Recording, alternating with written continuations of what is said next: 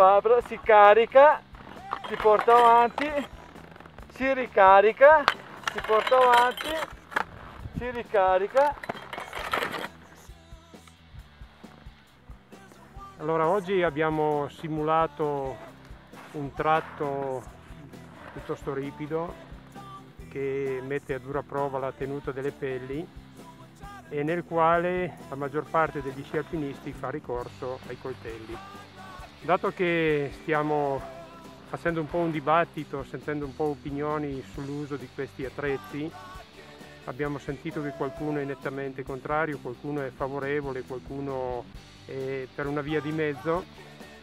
Io devo dire che eh, chi è abituato a far tenere le pelli anche in condizioni piuttosto estreme quando decide che non ce la fa più a tenere e ha bisogno di ricorrere a qualcos'altro, tipo coltelli, a quel punto è meglio se calza direttamente i ramponi. Ecco, questa è un po' la, la, mia, la mia, idea, dal momento che ho sempre dato eh, massimo risalto all'apprendimento e alla cura delle sensazioni per fare sì che il proprio accettivo sia in grado di avvertire la tenuta delle pelli fino a delle pendenze piuttosto elevate. Oggi abbiamo anche fatto vedere come sia importantissimo se si vuole utilizzare solo le pelli l'utilizzo di bastoncini con la papera da fondo che permettono un grip e una tenuta verso valle, oltre che la spinta ovviamente durante la pratica normale, piuttosto elevata. Il bastoncino con la papera larga tradizionale rotonda è, altrettanto valido, ha il difetto che sul ripido tende a toccare prima la plastica e poi la punta e in alcune condizioni di neve dure si rischia magari anche di una scivolata inavvertita. C'è poi l'abitudine dettata da un'esigenza di sicurezza in caso di pericolo di valanga di impugnare il bastoncino a mezz'asta. Eh, io non, non sono d'accordo e nemmeno Meraldi a quel che mi risulta è d'accordo su questa pratica in quanto impugnando il bastoncino a mezz'asta si rischia molto di, di perderlo per una banalità e che perdendo il bastone in certe situazioni si rischia di compromettere la gita sia per quanto riguarda la salita che per quanto riguarda la discesa. Dato che questa abitudine è dettata soprattutto dal fatto di avere le mani immediatamente libere nel caso di essere travolti da una valanga, io vorrei fare una premessa se si è nella situazione di pensare veramente di essere a rischio eh, di valanga, se non è possibile fare diversamente, sarebbe meglio rinunciare alla gita e tornare indietro. Per avere invece le mani libere nel caso di uno stacco di valanga e non essere attorcigliati sotto la neve, uno può immaginare che avendo i bastoncini impugnati eh, sotto la neve, con la forza che la neve, il peso della neve si verrebbe subito, eh, verrebbero subito spezzate le spalle e le braccia perché il bastoncino ovviamente rimarrebbe impigliato e trascinato dalla valanga. Eh, noi facciamo vedere, come consiglia giustamente Meraldi, che si possono impugnare i laccioli solamente con le quattro dita, lasciando il pollice fuori. Per cui si ha meno rischio di perdere il bastone per una qualsiasi banalità, ma c'è la possibilità anche che si sfili nel caso che eh, uno venga travolto da valanga questo è un po' il nostro, il nostro punto di vista.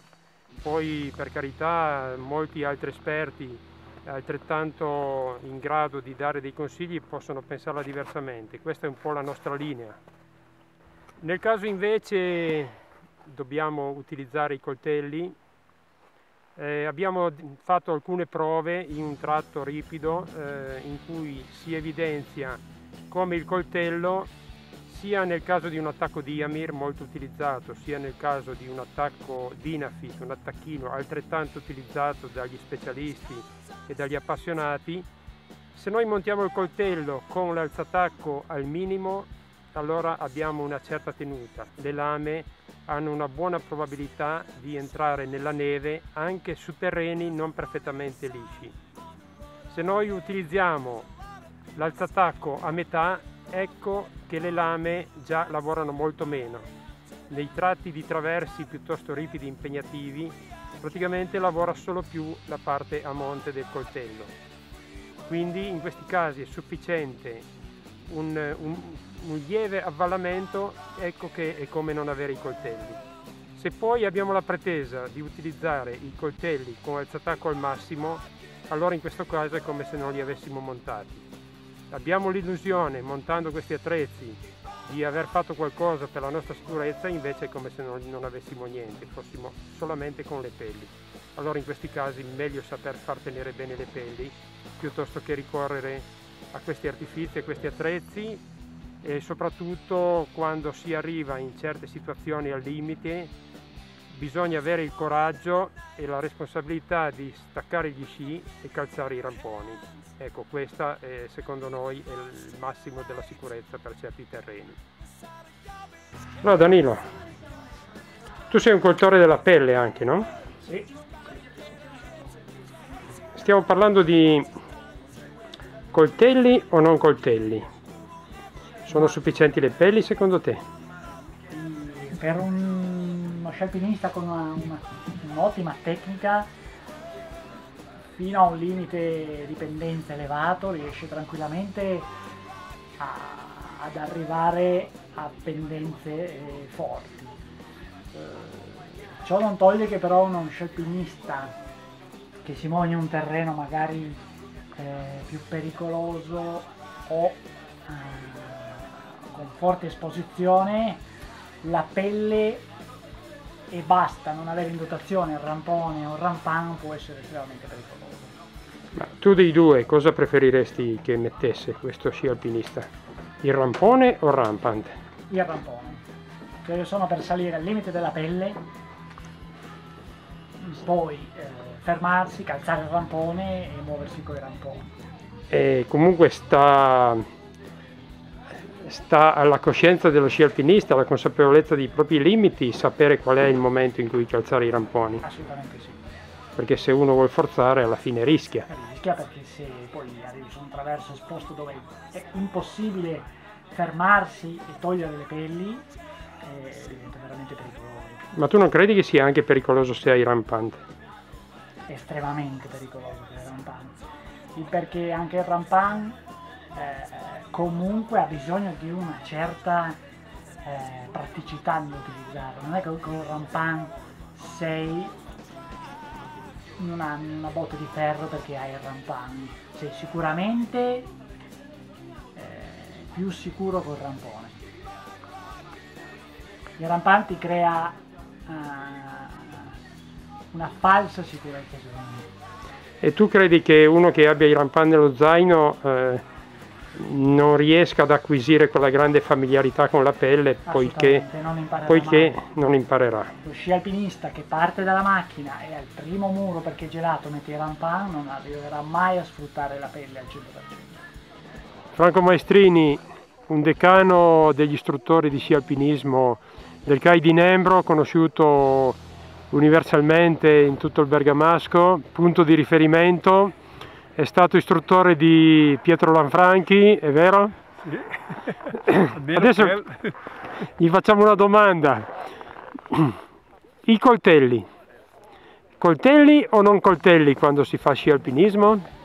Dunque, i coltelli si deve sempre averli nello zaino, prima cosa. Seconda cosa, quando c'è una persona che ti accorgi subito, essendo anche abbastanza indietro, oppure girandoti a guardarla la vedi che ha paura, fagli mettere i coltelli. Perché sul neve dura spreca energie inutili.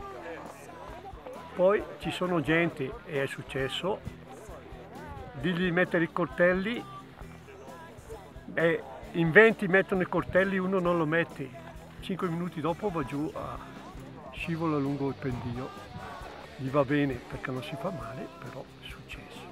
Però diciamo per acquisire la sensibilità di far tenere le pelli, che tu sei uno bravo a far tenere le pelli, io ti ho visto personalmente, se tu alla minima difficoltà metti i coltelli perdi un po' la possibilità di, certo. di imparare. Questo qua, questo qua è se si è in gita che hai un mucchio di gente insieme quello che vedi a un certo punto se c'è pendio ripido duro, roba del genere, conviene consigliare di mettere i coltelli.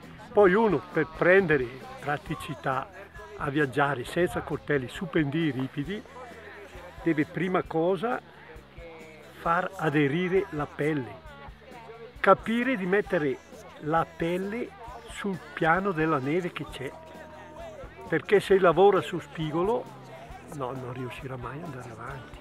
Sì, però se non si mette alla prova anche dove è difficile, è, di- è difficile che possa avere poi fiducia nella sola pelle. Ma lì la fiducia la prendi se continui ad andare. Questo qua, noi con le gite abbiamo un mucchio di gente che neve, non- non- che, che viene a sci alpinismo, non sono esperti. Quando li vedi a tribulare che sono su, che tremano le gambe, è meglio mettergli, far mettere i rampanti prima di arrivare a quel livello. Ma tu i coltelli li metti? solo in- raramente, raramente li metto, però se, tro- se vedo duro che de- devo star lì a, a tribulare, conviene metterli che vai via, senza Ma il pizzo di petto in punta non li abbiamo messi. Eh, non li abbiamo messi perché non correvano. Ma te lavorai con i scipiacci.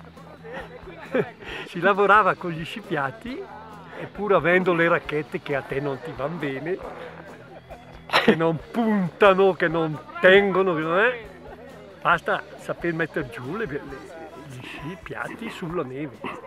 Va bene, adesso abbiamo anche il parere autorevole di Franco Ma- Maestrini. Grazie, grazie Franco. Dai criticati. Com'è? E che ti dice male. No. No, in effetti te prendi un pendio lì, prendi da su da lì e puoi andare su finché vuoi.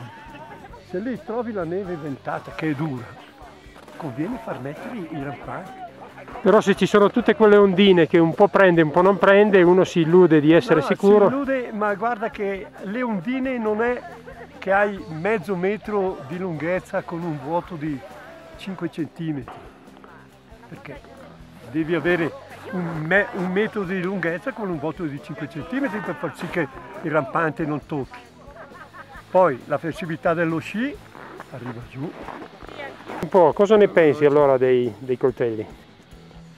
Tu sai come lo penso io i coltelli? Eh, ma spiegacela bene che ti sto filmando. Ah, stai filmando?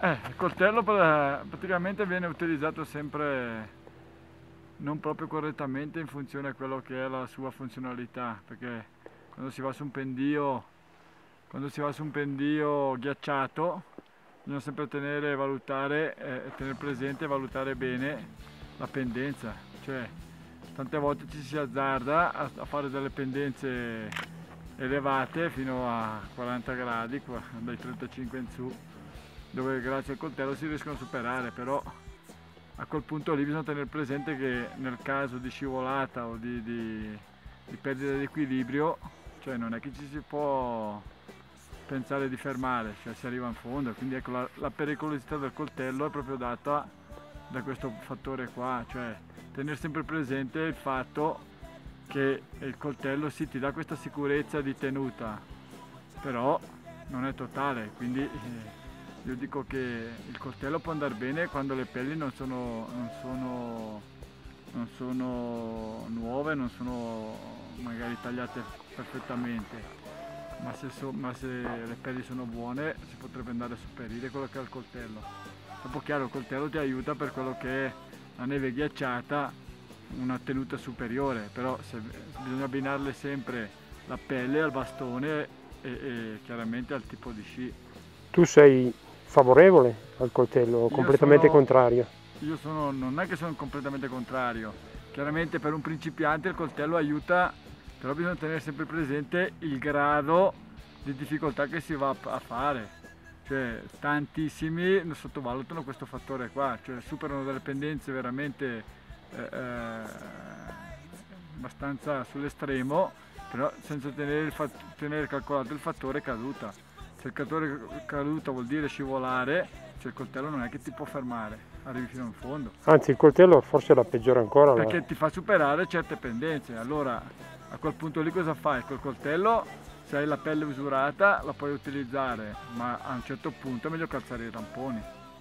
Cioè, però il Tu i coltelli non li hai mai usati, Io non li ho mai usati, usi i ramponi. uso i ramponi. Quando si arrivano pendenze estreme, eh, eh, praticamente preferisco caldare- calzare i, i ramponi. Però E di norma i tuoi, i tuoi allievi cosa fai usare? io li faccio usare fino, fino- fino a un punto che io ritengo sicurezza, dipendenza, dove anche se uno cade si può fermare lo stesso, non per scivolata, ma per gravità, quindi sta fermo lì. E, e se si va invece su pendenze superiori, il coltello bisogna tenere presente che non tiene, non, cioè no- non è perché il coltello stai appeso, cioè il fattore scivolata può esserci comunque. eh. Quindi ecco, la pericolosità del coltello è proprio valutare le pendenze. Dopo si salgono pendii impressionanti, si sale in cima al Monte Bianco con gli sci, senza pelli o con le pelli. Però ecco, il principiante deve valutare bene questo fattore qua, il fattore, il fattore pericolo in caso di scivolata. Quello che tutti pensano invece che avendo il coltello, il coltello ti dà questa sicurezza di, di poter superare delle pendenze impossibili.